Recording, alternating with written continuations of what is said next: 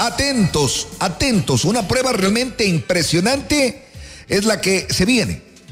Hablamos de la Titan Desert Almería, que es una de las pruebas en desierto para bicicleta más, pero más eh, afamadas y sobre todo esperadas por los ciclistas, sobre todo ciclistas de alto riesgo, porque una cosa es ir en su bicicleta por lugares que uno conoce y otra es meterse al desierto. En este sentido, eh, hablamos de que llega la prueba de fuego para los amantes del mountain, mountain bike. Oiga, la pregunta del millón es cómo lo harán, con qué tipo de llantas, porque le digo una cosa, por lo general en la arena las bicicletas tienden a clavarse, entonces entiendo que tendrán que vivir todo ese tipo de eventualidades. Y es que casi un mes después de finalizar la Skoda Titan en Desert Almería, llega otra prueba de fuego para los amantes del mountain bike. La Neon Titan Desert Saudí Arabia. Cuatro etapas, más de 350 kilómetros y un desafío por pistas de desierto por las que no se había ah, circulado en bicicleta de montaña jamás. Mire usted, las tomas son realmente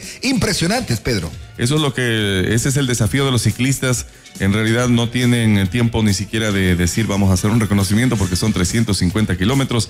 Entonces vamos a ver la pericia, la astucia y como usted decía, pues eh, que lleva los mejores implementos, ellos saben que se van a encontrar con arena, con grava y con todo tipo de, en este caso, de terreno. Así que en todo caso, eh, hay mucha expectativa por eh, esta aventura, más de 200 participantes y una oportunidad para los ciclistas de élite de añadir un nuevo triunfo en su palmarés, porque aquí también llegan los ciclistas de élite que quieren, obviamente, nuevamente que su imagen sea vista en el mundo. Ahora, hay que entender que es una racha espectacular.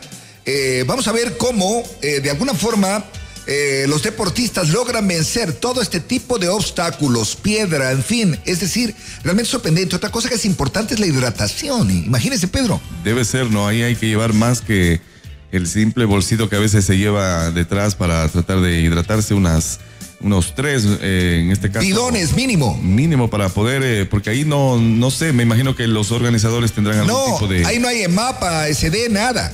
Nada, vaya. Nada. Ni tienda, nada. Etapas. Ahí vean cómo se resuelve. Pero miren, los paisajes también son espectaculares. Yo me imagino que deben llevar su camelback, ¿no? Es a manera de una mochila con agua.